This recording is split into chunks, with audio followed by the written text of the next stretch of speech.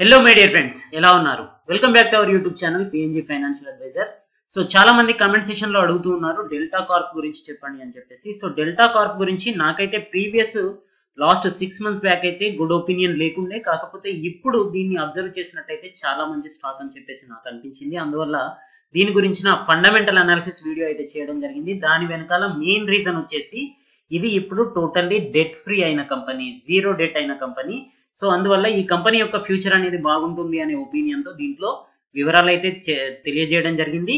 అదే విధంగా దీంట్లో మెయిన్ మేజర్ ఫేమస్ ఇన్వెస్టర్స్ అయిన రాకేష్ జుంజున్వాలా గారి స్టేక్ వచ్చేసి ఆల్మోస్ట్ సెవెన్ పర్సెంట్ కంటే ఎబో ఉండింది.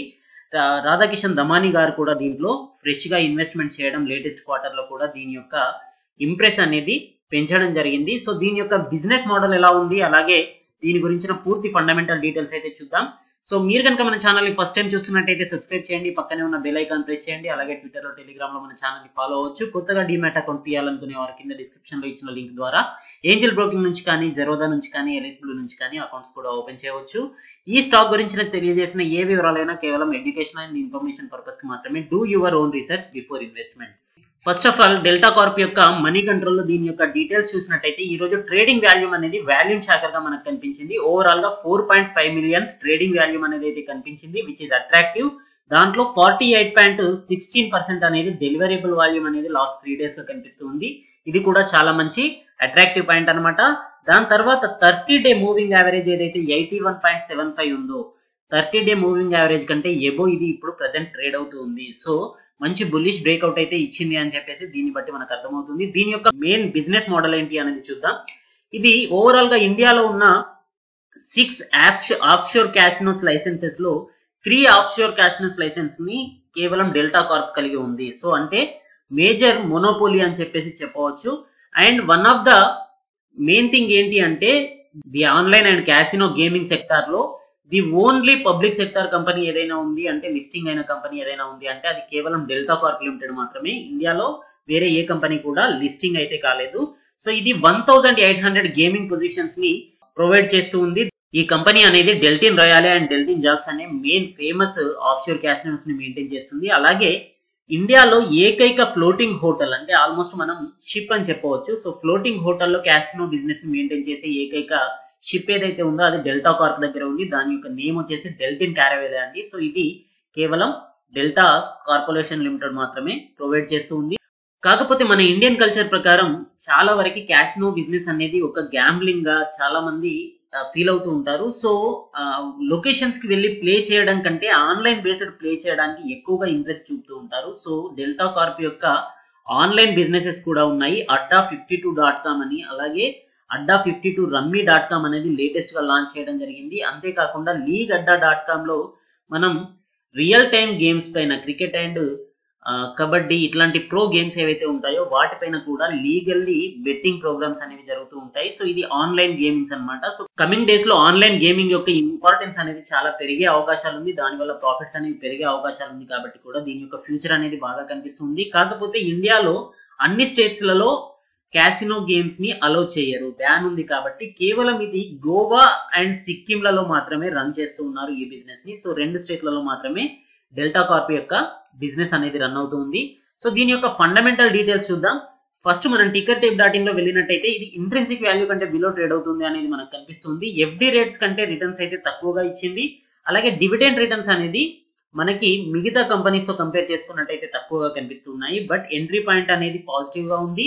నో రెడ్ ఫ్లాగ్స్ అండి. సో దీని యొక్క డీటెయిల్స్ అయితే టిక్కర్ టేప్లో అయితే పాజిటివ్గా కనిపిస్తున్నాయి. వన్ ఇయర్ ప్రైస్తో కంపేర్ చేసుకున్నట్టయితే ఇది ఫిఫ్టీ టూ పర్సెంట్ డిస్కౌంట్ ప్రైస్లో మనకి ఇప్పుడు ప్రెసెంట్ ట్రేడ్ అవుతుంది. దీని యొక్క ఫోర్కాస్ట్ అనలిస్ట్ చూసినట్టయితే మనకి హండ్రెడ్ పర్సెంట్ అనలిస్టులు దీన్ని బై చేయవచ్చు అనేది రికమెండ్ చేస్తూ ఉన్నారు. సో దీంట్లో లోయెస్ట్ వన్ ఫిఫ్టీ టార్గెట్ ఇచ్చారు. వన్ ఇయర్కి మీడియం అయితే two forty seven highest two hundred sixty eight వరకు కూడా వన్ ఇయర్లో వెళ్ళే ఛాన్సెస్ ఉంది అని చెప్పేసి. కాకపోతే కమింగ్ డేస్లో కూడా ఇప్పుడున్న సిచ్యువేషన్స్లో ఓవరాల్గా గేమింగ్ అండ్ టూరిజం బిజినెస్ అయితే చాలా హడల్స్ని ఎదుర్కొనే పరిస్థితి ఉంది. ఎందుకంటే లాక్డౌన్ వల్ల.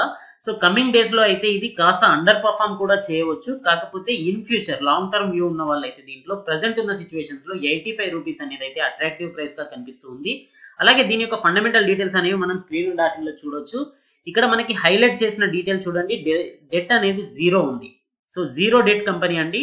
ఇంతకు ముందు లాస్ట్ త్రీ ఇయర్స్ బ్యాక్ చూసుకున్నట్టయితే దీనికి almost three hundred thirty seven crores అనేది టూ థౌసండ్ ఫిఫ్టీన్లో బారోయింగ్స్ ఉండినాయి. ఆ తర్వాత టూ థౌసండ్ సిక్స్టీన్లో two forty three crores two thousand సెవెంటీన్లో two hundred twenty one crores వరకే డెట్ అనేది ఉండింది. సో టూ థౌసండ్ సెవెంటీన్ తర్వాత వీళ్ళు షేర్ క్యాపిటల్ని డైల్యూట్ చేసి సేమ్ ఇప్పుడు రిలయన్స్ ఏదైతే చేస్తుందో అదే విధంగా షేర్ క్యాపిటల్ని డైల్యూట్ చేసి డెట్స్ని అయితే జీరో చేయడం జరిగిందండి. టూ క్రోర్స్ అనేది టూ థౌసండ్ ఎయిటీన్లో కనిపించింది. ప్రజెంట్ కరెంట్ ఇయర్లో టూ థౌసండ్ నైన్టీన్లో చూసుకున్నట్టయితే జీరో బారోయింగ్స్ అనేది కనిపిస్తుంది విచ్ ఇస్ వెరీ అట్రాక్టివ్ అదే విధంగా ప్రాఫిట్ అండ్ లాస్ స్టేట్మెంట్ చూసినా కూడా మనకి కంటిన్యూగా సేల్స్ అనేది ఇంప్రూవ్ అవుతూ ఉంది. టూ థౌసండ్ ఫిఫ్టీన్ నుంచి చూసుకున్నట్టయితే three hundred three seventy five four fifty five six hundred eight seven ninety eight crores వరకు కనిపిస్తూ ఉంది. కరెంట్ ఇయర్లో అయితే మార్చ్ క్వార్టర్లో ఇది కాస్త యావరేజ్ రిజల్ట్స్ని ఇచ్చింది. ఎందుకంటే సేల్స్ అనేవి తగ్గాయి. So trailing twelve months result చూసుకున్నట్టయితే మనకి seven hundred seventy three crores revenue అనేది కనిపించింది. ఆపరేషన్ ప్రాఫిట్ మార్జిన్ చూసుకున్నట్టయితే మనకి టూ థౌసండ్ ఫిఫ్టీన్ నుంచి కంటిన్యూస్గా పెరుగుతూ ఉంది. Twenty one thirty two thirty five forty one so thirty nine percent అనేది టూ థౌసండ్ నైన్టీన్లో చూపించింది. కరెంట్ ఇయర్ చూసుకున్నట్టయితే thirty six percent operation profit margin అనేది కనిపిస్తుంది విచ్ ఇస్ ఆల్మోస్ట్ పాజిటివ్ అని చెప్పవచ్చు. అలాగే నెట్ ప్రాఫిట్ చూసుకున్నా కూడా మనకి నెగటివ్ రిజల్ట్స్ ఇచ్చింది. టూ థౌసండ్ ఫిఫ్టీన్లో ఇది లాసెస్ చూపించిన కంపెనీ వచ్చేసి ఆ తర్వాత టూ థౌసండ్ సిక్స్టీన్ నుంచి thirty eight crores seventy four crores one hundred fifty six crores one hundred ninety seven crores వరకు టూ థౌసండ్ నైన్టీన్లో ప్రాఫిట్స్ చూపించడం జరిగింది.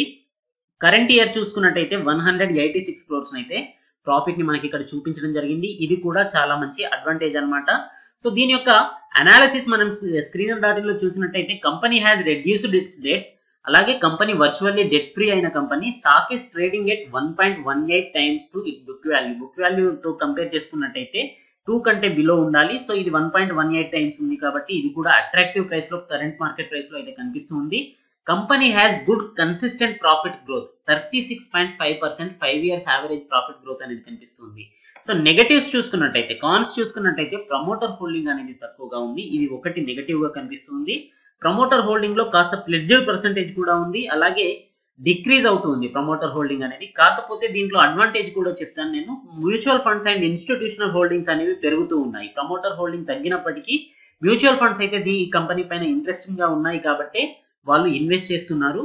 సో దాని గురించిన డీటెయిల్స్ కూడా చూద్దాం.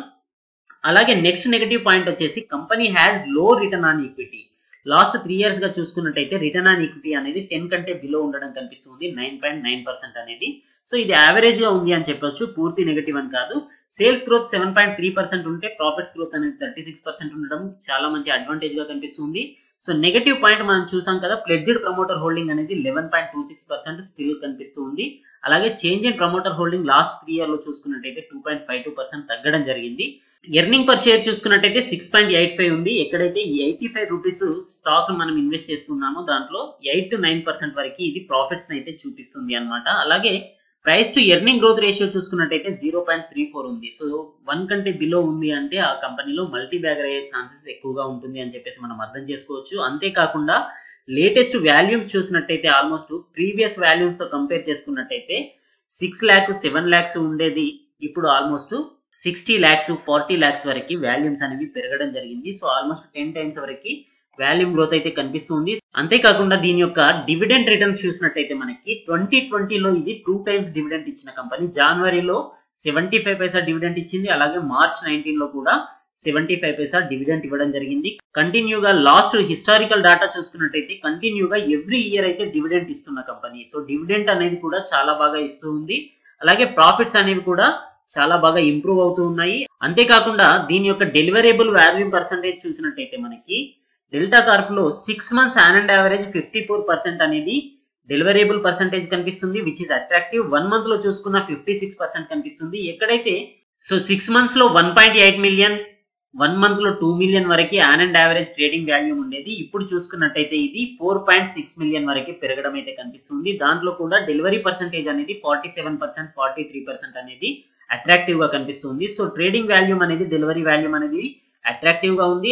అంతేకాకుండా ట్రెండ్ లైన్ డాట్ కామ్లో షేర్ హోల్డింగ్ ప్యాటర్న్ పైన మీరు చూసినట్టయితే దీంట్లో మ్యూచువల్ ఫండ్స్ యొక్క హోల్డింగ్ అనేది ఎలా ఉంది అనేది కనిపిస్తుంది. సో ప్రీవియస్ ఇయర్స్తో కంపేర్ చేసుకున్నట్టయితే quarterly wise June quarter two thousand నైన్టీన్లో చూసుకున్నట్టయితే టెన్ మిలియన్స్ అనేవి మ్యూచువల్ ఫండ్స్ యొక్క హోల్డింగ్స్ ఉండేవి.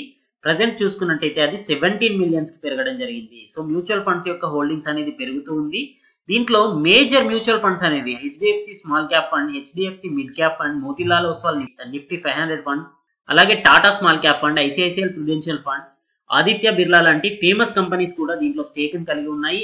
అంతేకాకుండా లేటెస్ట్ బల్క్ డీల్స్ చూసినట్టయితే మనకి మార్చ్ థర్టీ ఫస్ట్ ట్వంటీ ట్వంటీలో ఫ్రెష్ బయింగ్ అనేది అయితే మనకి ఇక్కడ కనిపించింది. Fifteen lakh fifty thousand fifteen lakh fifty thousand almost thirty one lakh shares అనేవి రాధాకిషన్ దమానీ గారు అయితే పర్చేస్ చేయడం జరిగింది థర్టీ ఫస్ట్ మార్చ్ రోజున. At the price of sixty five రూపీస్లో. సో ఇది చాలా మంచి పాజిటివ్ ఇండికేషన్ అయితే మనకి ఈ కంపెనీ పైన ఇవ్వడం జరిగింది. అదే విధంగా ఫేమస్ షేర్ హోల్డర్స్ యొక్క స్టేక్ మనం ఇక్కడ చెక్ చేసినట్టయితే పబ్లిక్ నాన్ ఇన్స్టిట్యూషనల్ హోల్డింగ్ చూసినట్టయితే మనకి రాకేష్ జుంజన్వాలా గారి స్టేక్ అనేది four point two four percent కనిపిస్తుంది. అలాగే రాకేష్ గారి మిసెస్ యొక్క రేఖా జుంజున్వాలా గారి యొక్క స్టేక్ అనేది three point one four percent కనిపిస్తుంది. ఓవరాల్గా seven point three eight percent stake అయితే రాకేష్ జుంజన్వాలా గారు దీంట్లో కలిగి ఉన్నారు. ఫైనల్గా మనం లేటెస్ట్ క్వార్టర్ రిజల్ట్స్ చూసినట్టయితే కూడా మనకి one hundred eighty one crores అనేది అయితే లేటెస్ట్ క్వార్టర్లో సేల్స్ చూపించడం జరిగింది. దాంట్లో కేవలం ఆపరేషన్ ప్రాఫిట్ అనేది ట్వంటీ సిక్స్ పర్సెంట్ ఉండింది. లేటెస్ట్ క్వార్టర్లో అయితే రెవెన్యూ తగ్గింది సేల్స్ తగ్గాయి. అంతేకాకుండా నెట్ ప్రాఫిట్ కూడా తగ్గడం జరిగింది ట్వంటీ నైన్ క్రోర్స్ అనేది. కాకపోతే ఓవరాల్గా ఇయర్లీ చూసుకున్నట్టయితే కనుక మనకి రిజల్ట్స్ అనేది అయితే పాజిటివ్గా కనిపిస్తూ ఉన్నాయి. అంతేకాకుండా వీళ్ళ క్యాష్ ఫ్లో స్టేట్మెంట్ మనం చూసినట్టయితే ప్రాఫిట్స్ ఫ్రమ్ ఆపరేషన్స్ ఏదైతే ఉందో ఇది కంటిన్యూగా ఇంప్రూవ్ అవుతూ ఉంది. టూ థౌజండ్ ఎయిటీన్ మార్చ్లో ఫార్టీ నైన్ క్రోర్స్ అనేది ఆపరేషన్ ప్రాఫిట్స్ నుంచి వచ్చిన ఇన్కమ్ అయినట్టయితే ప్రజెంట్ క్వార్టర్లో చూసుకున్నట్టయితే ప్రీవియస్ క్వార్టర్లో మార్చ్ టూ థౌసండ్ నైన్టీన్లో చూసుకున్నట్టయితే ఇది త్రీ హండ్రెడ్ థర్టీ క్రోర్స్ పెరగడం జరిగింది. సో ఆపరేషన్ ప్రాఫిట్స్ అనేవి క్యాష్ ఫ్లో స్టేట్మెంట్లో మనకి ట్రాన్స్పరెంట్గా కనిపిస్తూ ఉంటాయి. సో దీన్ని మనం ట్రస్ట్ చేయవచ్చు. సో ఆపరేషన్ ప్రాఫిట్స్ అనేవి అయితే ఇంప్రూవ్ అవుతూ ఉన్నాయి. సో కమింగ్ డేస్లో ఇది చాలా మంచి పర్ఫార్మెన్స్ అయితే ఇచ్చే అవకాశం ఉంది. లాంగ్ రన్లో చూసుకున్నట్టయితే మనకి దీంట్లో పాజిటివ్స్ చూసుకున్నట్టయితే వాల్యూమ్ గ్రోత్ అనేది ఉంది.